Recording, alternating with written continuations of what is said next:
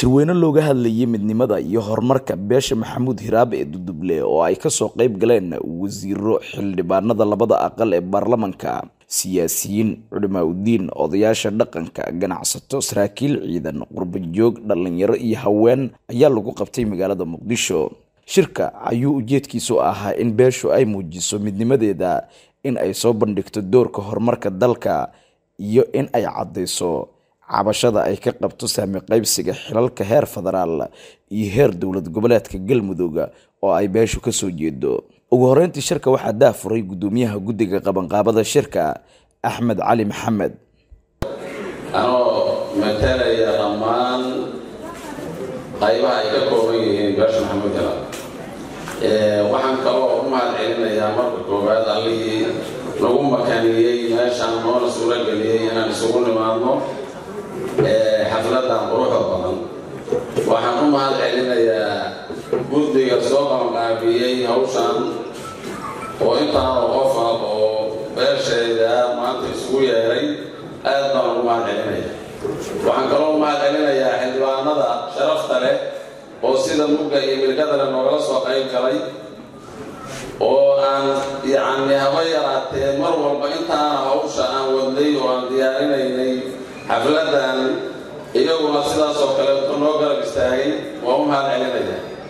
Sidoo kale waxaa shirka ka hadlayay xildhibaanada beesha oo caddeeyey mowqifkooda ku aadan shirka iyo in ay dowladda dhexe iyo maamul goboleedka galmudug uga fadhiyaan waxa ay beeshu ka mudan tahay oo saami qaybsiga beelaha waafaqsan. Sidoo kale bal marka hore yaanan hilmaamin waxaan rabaa inaan sheego shirkan ma ahan shir mucaarad waa shir horumarineed weeyaan marka hore unitigeenna ka soo baxay. Unitigeenna haddii la helana waxaa weeye in tallaabo wada jira hor loo qaaday imaanaysa waxaan salaan ka wadaa iyo hambaliyeyn madaxdii gobolka iyo kuwa qaranka intaba anuu ku matelayaa siyaasiyiinta iyo xildhibaanada. Shirkan cid walba ayaa ogsoon. Hambalyadaas baan idinkaga wadnaa. Annaga waxaan dhisi karnana waa dhisnay. Waxaan ganacsi keeni karnana waa keennay waxaan horumar ka shaqayn karnana waa ka shaqaynay dowladdaan rabnaa in annaguna aan cadla yaqaano muuqdo ku yeelano. Senatarka waa ammaanay dowladda ammaantana waa la qabnaa. Laakiin waxaa moodaa haddii ammaanta aan ka badano in waxyaabo badan oo hadda aan weysanahayna aan sii wey doono beeshu sidaan kuma qanacsana in wax badan laga bedelay u baahan tahay.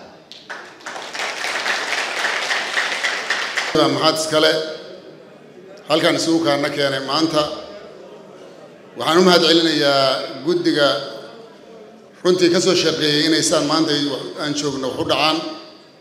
Wakti badan geliyey. Wakti badan timamka iyo bahda qaybeeda kala duwan la kulantay. Annagana aan isu badnay runtii. Waa uga mahad celinayaa shaqada. Marka waxaan leeyahay horta hal mar ha loo socyo guddiga. Waa mahadsantihiin guddiga xordaga waxaa la yidhaahdaa dhul iyo dad aan ka soo jeedno dhulkii xor maaha nimanaa haysta aanana magacooda iyo isirkooda oqon ayaa haysta. Waxaa loo baahan yahay inaad taageertaan saaad meesha u fadhidaan iyo kuwa meediyaa naga dhagaysan doonaba dib u xoraynta ha la sacbiyo hadday daacadinka tahay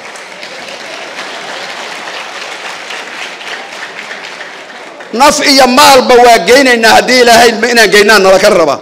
Ugu dambeyntii shirka waxaa laga soo saaray warmurtiyeed ka kooban laba iyo toban qodob oo ka hadlaya ujeedka shirka. Dood iyo falanqeyn dheer kadib shirweynaha waxaa ka soo baxay warmurtiyeed ka kooban qodobada soo socda. Kow in shulku abuuro jawi lagu samata bixinayo danaha masiiriga ah ee beesha wixii kala aragti duwanaashaahana lagu xaliyey labo shirweynuhu waxa uu u mahad celinayaa guddiga horumarinta iyo midnimada beesha maxamuud hiraab duduble oo soo qabanqaabiyey madashan quruxda badan. Saddex shirweynuhu waxa uu soo jeedinayaa in dib loo qiimeeyo lana xoojiyo doorku ay beeshu ku leedahay geedi socodka siyaasadda iyo dowlad dhiska soomaaliya. Afar shirweynuhu waxa uu isla qaatay in beeshu ka tashato aayaheeda masiiriga ah mii iyo magaalaba xasan kaafi xaaji maxamed shabeelle t v muqdisho